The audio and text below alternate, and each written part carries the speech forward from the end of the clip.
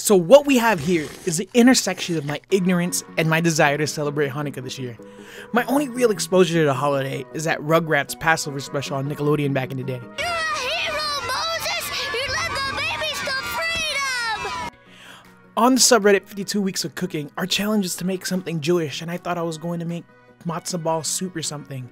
But I was pleasantly surprised to discover that tahdig, Persian rice dish, is Jewish or at least my non exhaustive internet search told me so. Okay, to make my version of tahdig, you need to source these two ingredients. They aren't hard to find at all, but odds are you probably don't have these in your kitchen right now. So, first, we're gonna need some basmati rice. You can buy them in these small bags, and compared to other rices like jasmine, the grains are very long, especially after they've been cooked. Don't even attempt to make this dish without basmati, it just won't be as good, and rice is cheap, so get the good stuff. The second ingredient, which is not cheap and actually entirely optional, but if you choose to admit it, this dish is just really a pass. That would be saffron. You can use as much or as little as you want. Remember, it's optional. But I would use about a quarter to a third of this tin because I like it that much. It adds an amazing aroma to the dish, and the color it brings really makes everything seem so festive. Place the saffron in a mortar and grind it into a fine powder. Add a few tablespoons of water and set aside. This is going to be used to perfume the dish and add a beautiful reddish orange to the grains and give the dish that extra wow factor. Take 2 cups of basmati rice and rinse it in a bowl of water.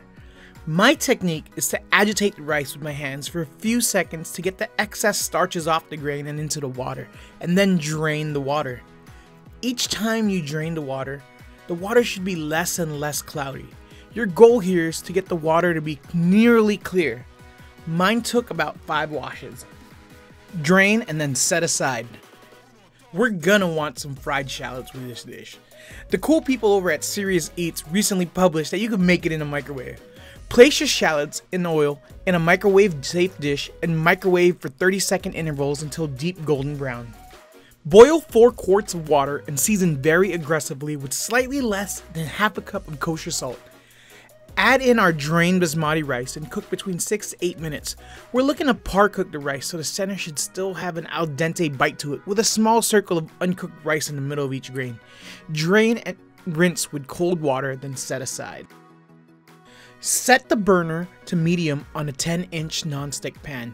Add 3 tablespoons of the shallot oil we made in the microwave and 3 tablespoons of butter.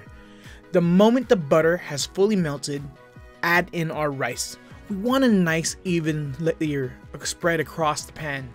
Try not to smash the rice and gently coax it into an even layer. With the back of our spatula, we're going to create five holes to channel the steam away from the bottom, which in theory should help with crust formation. Wrap a kitchen towel around the lid of the pan and cover the pan with the lid. This is to prevent the condensate from coming back into the dish. Keep the pan on medium heat and every 5 minutes turn the pan a quarter turn in order to help even browning.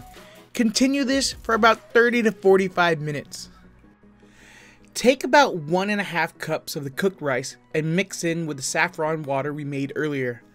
Before adding the rice back, evenly spread the fried shallots made in the microwave into the pan of torching rice.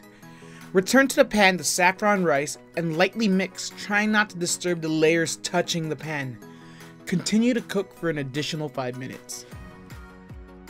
Now we enter the trickiest part of this entire recipe, getting it out of the pan and onto a plate. First, we're going to take a spatula and slide it between the sides of the pan and the rice, trying to loosen it all around from around the circumference of the thing. Next, with appropriate hand heat protection, take a plate larger than the pan and situate the plate on top of it. With whatever you choose to securely hold the plate onto the pan with your hands, flip the whole thing over. And the rice should have emptied nicely onto your plate. Even if you mess up like I did, it's still gonna taste good. I'll be more diligent in monitoring the rice crust so that I get a deeper brown color. But other than that, this dish came out excellent. If you like this video, please hit like and subscribe and comment down below what dish you want me to try making next.